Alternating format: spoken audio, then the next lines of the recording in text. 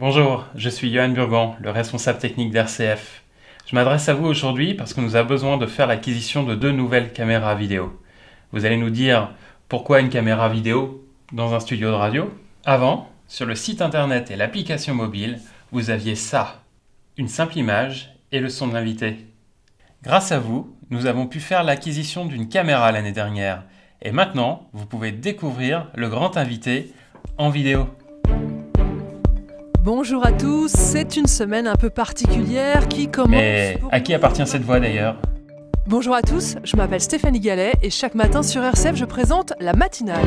Pour rendre cette interview encore plus interactive et dynamique, nous avons besoin d'une deuxième caméra pour filmer Stéphanie et d'une troisième pour un plan large et voir les interactions dans le studio.